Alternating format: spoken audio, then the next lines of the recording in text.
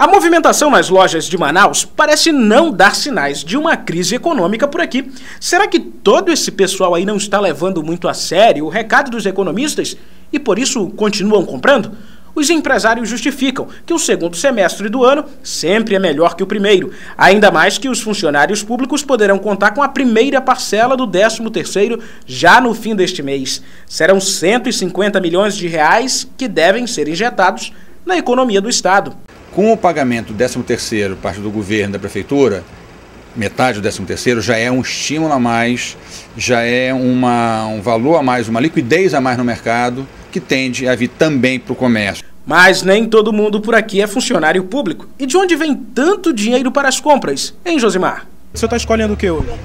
Uma sandália, uma sandália para meu filho. minha esposa para escolher uma sandália para ele. A gente vai levar essa sandália aqui para excessivo, né? E... Vai levar no cartão de crédito? Como é que vai, como é que vai pagar? A gente vai tirar no cartão, né? Sempre no cartão, sempre usando o cartão. É, a opção é o cartão. Valdair também vai comprar no cartão, porém, não muito. Nada de dívidas com muitas prestações. Dá para fazer tanto gasto assim não, né? Dá não. É, por exemplo, você comprou aqui uma mala, mas esse dinheiro, cartão de crédito... Cartão de crédito.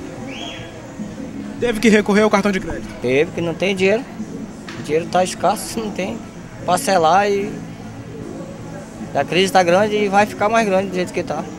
As pessoas estão evitando fazer aquelas compras de valores mais expressivos. Isso é uma coisa bem, bem normal, as pessoas recuaram, compra de veículos, compra de eletroeletrônicos, principalmente foi, foi uma área que sentiu muito essa queda. Fazer muitas dívidas é perigoso. O nível de desemprego vem crescendo. Segundo dados do Ministério do Trabalho, no Amazonas, de janeiro a maio deste ano, pouco mais de 300 mil postos de trabalho foram fechados. Só em maio foram mais de 4.600 demissões na indústria, no setor de serviço e no comércio. E quando a gente fala de economia, geralmente a gente traz notícias ruins, mostrando que o dólar está com a cotação lá em cima, que a produção industrial brasileira está em queda e que o PIB pode encolher e encolher bastante.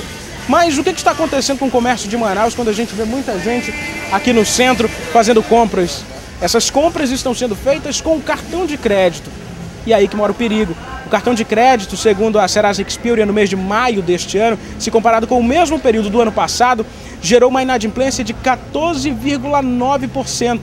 Tem muita gente comprando com cartão de crédito e não sabendo como vai pagar.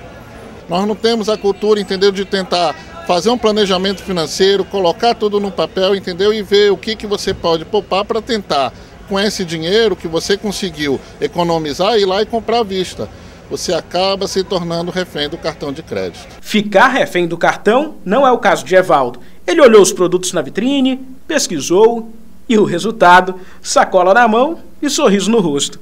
A gente criou a cultura de fazer poupança e comprar à vista. O que comprou hoje aí? É, sapatos, tênis. Comprou por quanto? É, quase 400 reais em compra. De desconto, levou alguma coisa? Sim, com certeza. A gente sempre pede desconto.